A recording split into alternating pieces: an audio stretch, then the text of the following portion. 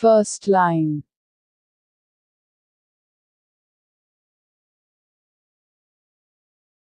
Mokshagundam Visvesvaraya was an engineer, statesman and a great scholar of India.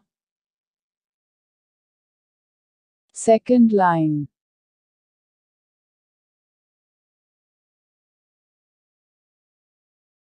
He was born on the 15th of September 1860 in Muddenahalli village, Kingdom of Mysore, now Karnataka.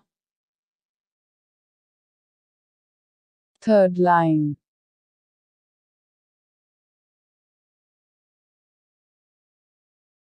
His father's name was Mokshagundam Srinivasa Shastri and his mother's name was Venkatalakshmimma.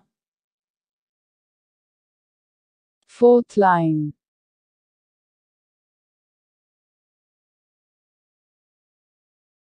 He is called the father of modern Mysore state. Fifth line.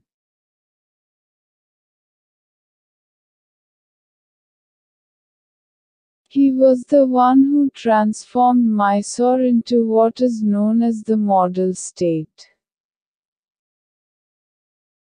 Sixth line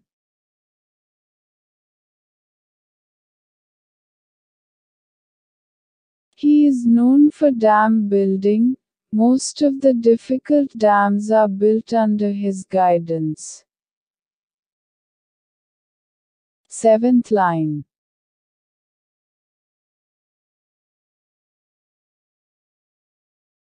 His birthday is celebrated as Engineers Day in India. 8th line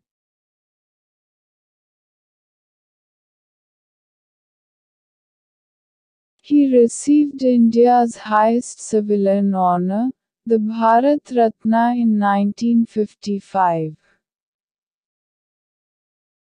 Ninth line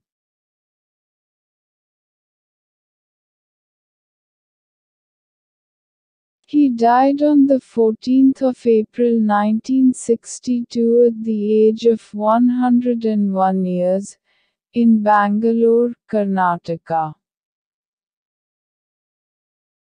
10th line.